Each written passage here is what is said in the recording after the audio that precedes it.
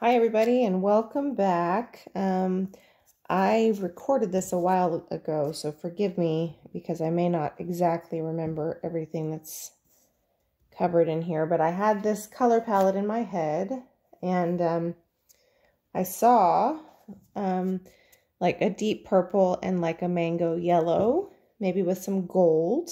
So uh, what I did is I took blue violet from Amsterdam and I put a little bit of regular similar paint in Mango Mamba from Colourarte only because I didn't want the yellow to be swallowed by the darker colors. And um, that is Deep Violet from Liquitex, I believe.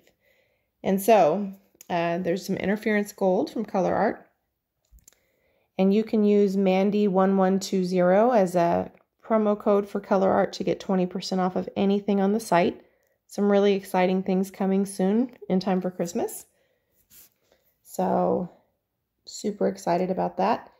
And I'm sort of just layering this like a messy bloom.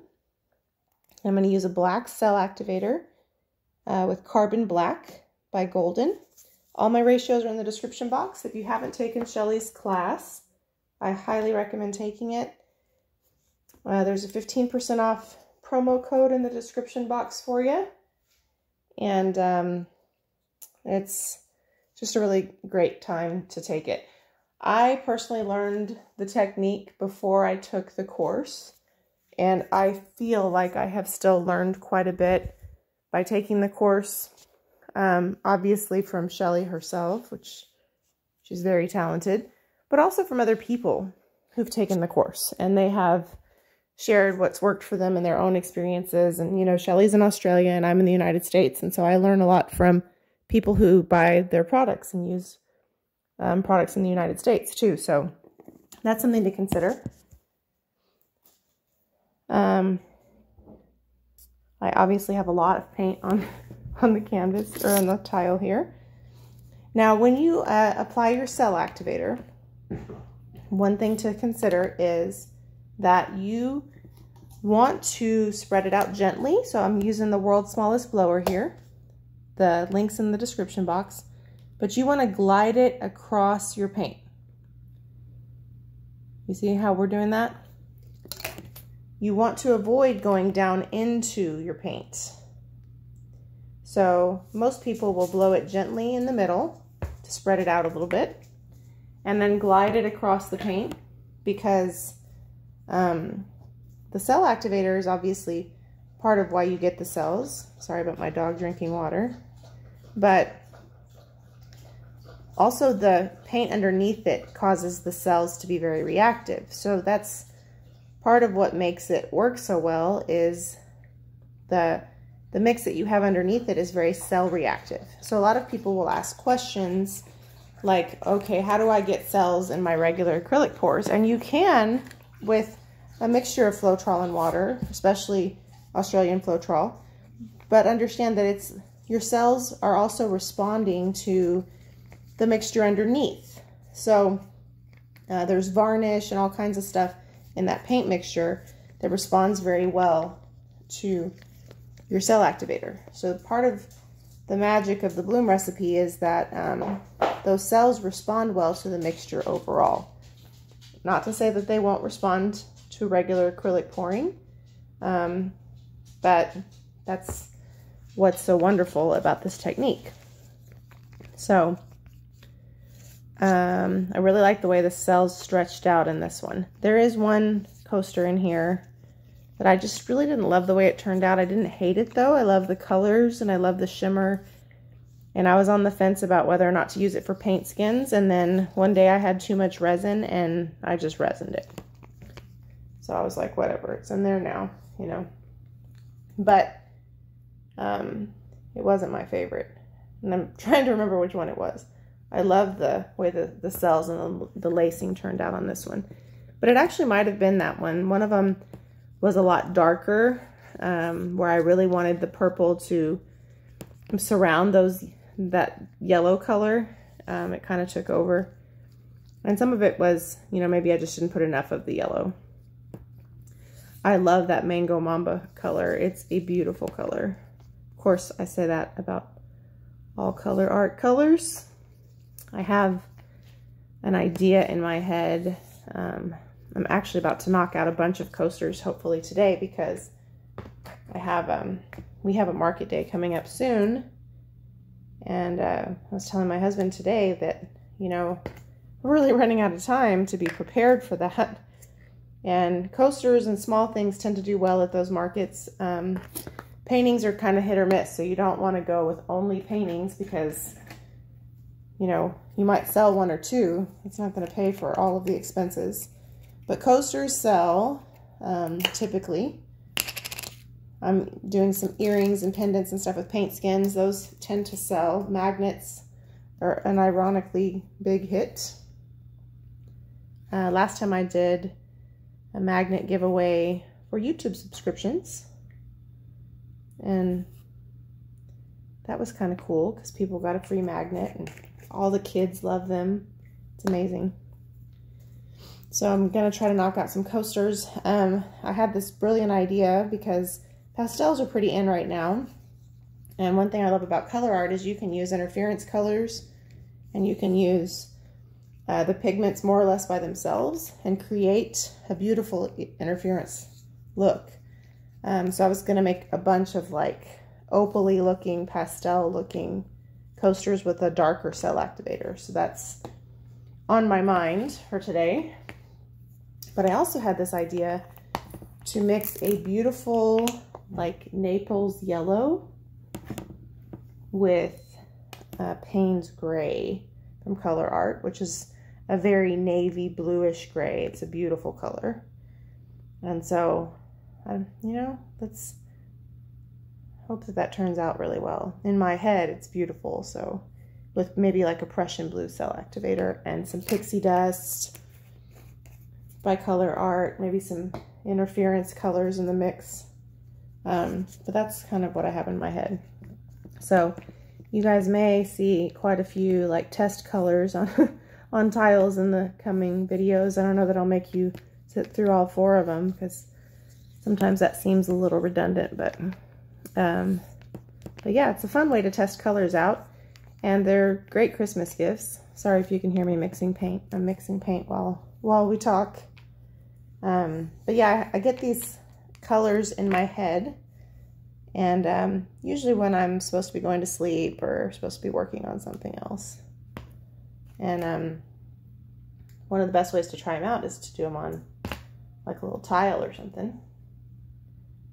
The other day I tried some colors and I didn't separate them well enough because um, what I had in my head was like a teal zircon color with like a mango mamba and maybe like an autumn brown and a warm purple. And I thought, well, maybe I'll try this modified bloom that Cindy always does. It's so pretty. Well, I need to watch Cindy's video again. It was a mess. So it's now going to be a paint skin used for jewelry or whatever. But that's the fun thing is I tried it on a tile. I didn't like it. Didn't have to scrape a canvas, didn't ruin a board.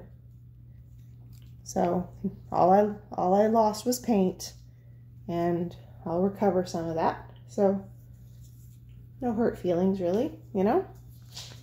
So that's the fun part about this technique is you can you can use your paint skins. You don't have to completely have a, a loss every time something doesn't work out. But I've been wanting to do some like paintings and some swipes and some some fun experiments, but I really need to focus on doing some of the small stuff and getting it done because literally two weeks from yesterday is when we're doing it and doesn't leave a lot of time for sanding and resining and you know all of that all that jazz so Unfortunately, what you'll probably see the most in the next few weeks is that sort of thing. So sorry in advance, y'all. Um, I have the link to everything I can think of in this video in the description box. So if I used uh, like a regular tube paint, I usually go in and edit that and add those in the description. So if you're like, hey, I don't know what that color is, you can find it. And I have the link to the spinner that I use.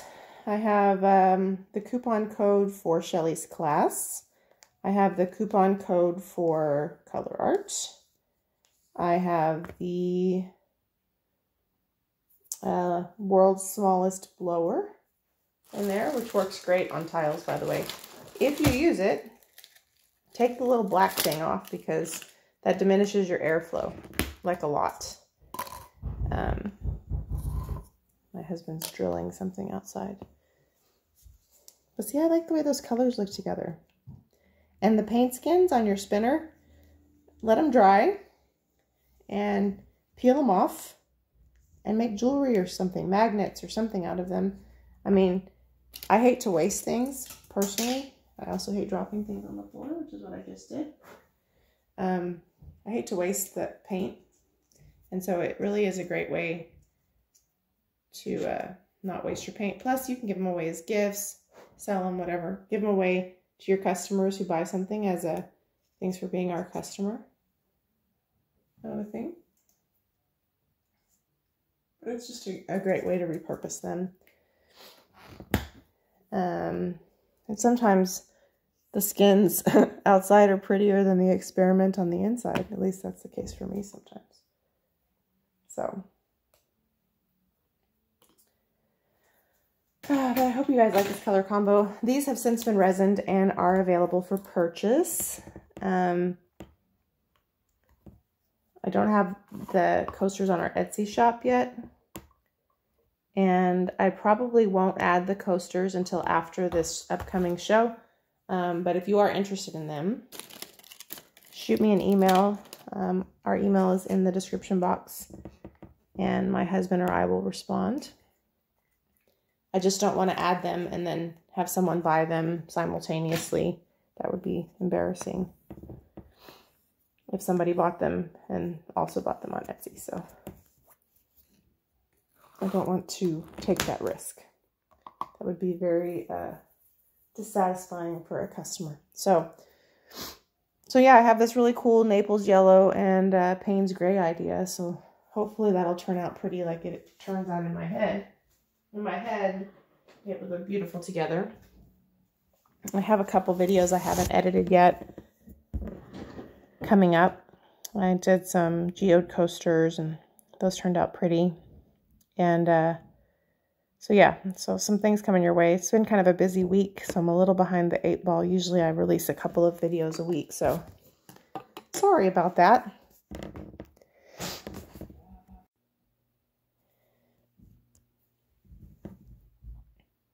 Um, I lost my train of thought. Sorry. My husband came in to get something. Um, if you're not already a subscriber, please subscribe and hit the notification bell. We are getting pretty close to hitting a thousand, um, probably in the next week or two. And uh, we hope to do a giveaway, so that should be good fun. Our social media links are below if you don't follow us on Facebook, Instagram, TikTok, all those things. And then the link to our Etsy store is also there. So if you're interested in following us on Etsy for when I actually do update the Etsy shop, feel free. I, I will do better at that. Um, but yeah, we would love to hear your feedback about what you think about these colors. Um, what you'd like to see in the future. Feel free to throw ideas my way. I'd like to see some coasters in these colors. Uh, I have to do a whole bunch in the near future, so I would love to hear your feedback about what you'd like to see. I think that might actually be great color inspiration for me because sometimes I have so many things I want to try that I get like um, almost overwhelmed with options and then I maybe don't pick one. So I would love to hear your ideas. Um, so yeah.